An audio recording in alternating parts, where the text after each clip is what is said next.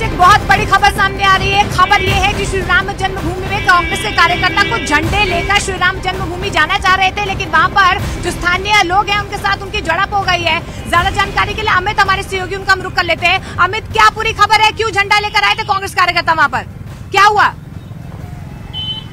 देखिए देखिए मोनिका कांग्रेस के जो बड़े नेता हैं, जो कांग्रेस पूरी जत्थे के साथ आज अयोध्या पहुँची थी, सबसे पहले वो सरयू स्नान की, सरयू स्नान करने के बाद हनुमानगढ़ी पहुँची और जब भगवान रामलला के दर्शन करने के लिए जा रहे थे तो उस दौरान कुछ कांग्रेस कार्यकर्ता अपने हाथ में झंडा लेकर, अपने पार्टी का झंडा लेकर वहाँ पर खड़े थे। तो ऐसे में जो स्थानीय लोग हैं, उनमें काफ़ी ज़्यादा रोष था, गुस्सा था, इसलिए कि हर कोई जानता है, हर कोई समझता है जो अयोध्या में है कि अगर भगवान राम के दर्शन करना है तो आपके हाथ में केवल अयोध्या में एक ही एक ही झंडा होना चाहिए, वो भी भगवान राम का होना चाहिए, भगवान हनुमान का होना चाहिए। ऐसे में किसी पार्टी का झंडा आपके हाथ में नहीं होना चाहिए। तो स्थानीय लोगों ने इसका विरोध किया। उन्होंने कहा कि इस झंडे को छोड़ दीजिए, पकड़ लीजिए हाथ में भगवान राम का झंडा भगवान और भगवान हनुमान का झंडा। और अयोध्या वासियों का केवल इतना ही कहना है कि आपके, अगर आपको दर्शन करना है, अगर आपके दिल में राम है तो हाथ में भी राम का झंडा होना चाहिए, भगवान राम का झंडा होना चाहिए। और इसी वजह से आज कांग्रेस को अयोध्या वासियों का विरोध का सामना करना पड़ा है। जी। और अमित इसलिए भी विरोध हुआ होगा क्योंकि देखिए खुद तो वो कहते हैं कि सत्ता पक्ष यहाँ पर राजनीतिक एजेंडा अपना बता रही है बाईस जनवरी को और ये कोई सांस्कृतिक कार्यक्रम नहीं और खुद वो झंडा लेकर पहुँचे वहाँ पर।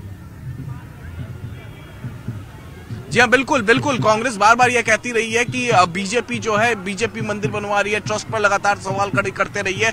केवल कांग्रेस ही नहीं, तमाम विपक्ष के नेता जो हैं, वो लगातार सवाल खड़े करते रहे हैं। लेकिन आज जब कांग्रेस ये नारा देकर आई कि राम सबके हैं और और उसी के तहत मकर संक्रांति के दिन वो पहुँची है दर्शन करने के लिए तो ऐसे में अयोध्या में कांग्रेस का झंडा, कांग्रेस के कार्यकर्ताओं के हाथ में था और इसी को लेकर अयोध्या वासियों ने विरोध किया है। तो ऐसे में इससे साफ़ झलकता है अयोध्या वासियों वासियों का मानना है कि यहाँ पर राजनीति बीजेपी नहीं खुद कांग्रेस कर रही है क्योंकि कांग्रेस पार्टी अपने हाथों में कांग्रेस का झंडा लेकर यहाँ पर आ, आ, उनके कार्यकर्ता यहाँ पर पहुँचे हैं। जब दिल में राम है तो ऐसे में हाथों में अगर झंडा होना चाहिए तो भगवान राम के होना चाहिए भगवान हनुमान के होना चाहिए लेकिन ऐसा नहीं हुआ। कांग्रेस के कार्यकर्ताओं के हाथ में कांग्रेस का झंडा था इसीलिए अयोध्या वासियों में काफ़ी ज़्यादा रोष आया का, काफ़ी ज़्यादा गुस्से में आया और उसके बाद उन्होंने सीधे कांग्रेस के कार्यकर्ताओं से कहा कि आप झंडा अपने हाथों से तो चलती रहेगी। प्रभु श्री राम के अस्तित्व पर इस तरीके से सवाल तो उठाते रहेंगे निमंत्रण पर सियासत होती रहेगी। लेकिन अवध के लोग जो हैं हर किसी का इंतज़ार कर रहे हैं कि वो 22 जनवरी को जब प्राण प्रतिष्ठा होगी उसके बाद भव्य नव्य मंदिर की तस्वीरें देखने के लिए लोग प्रभु श्री राम के दरबार ज़रूर पहुँचे।